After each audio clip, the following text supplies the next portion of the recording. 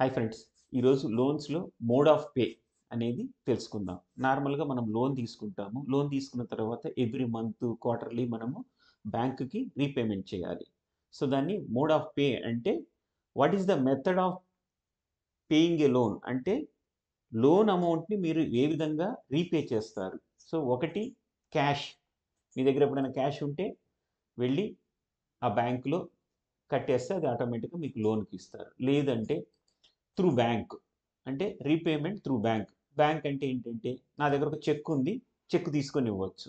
లేదా through NEFT నా savings account నుంచి ఆ బ్యాంకుకి పంపవచ్చు అది నా లోన్ క్రెడిట్ చేస్తారు. లేదా ఆర్టీజీఎస్ ద్వారా నేను అమౌంట్ని లోన్ ట్రాన్స్ఫర్ చేయొచ్చు నా సేవింగ్స్ అకౌంట్ నుంచి. అదర్ బ్యాంక్ అయినా సేమ్ బ్యాంక్ అయినా సరే.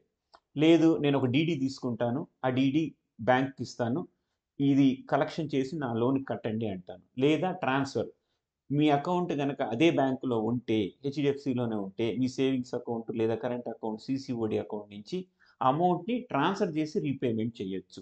వీటిలో స్టాండింగ్ ఇన్స్ట్రక్షన్స్ అని కూడా ఉంటారు తర్వాత న్యాచ్ నేషనల్ ఆటోమేటెడ్ క్లియరింగ్ హౌస్లో మీరు న్యాచ్ ఇన్స్ట్రక్షన్స్ ఇచ్చి మీ savings account other bank savings account నుంచి మీరు అమౌంట్ని మీ లోన్ అకౌంట్ ట్రాన్స్ఫర్ చేయొచ్చు. సో ఈ విధంగా మీరు మీ లోన్ని రీపేమెంట్ చేయొచ్చు. దీన్ని మోడ్ ఆఫ్ పే అంటారు.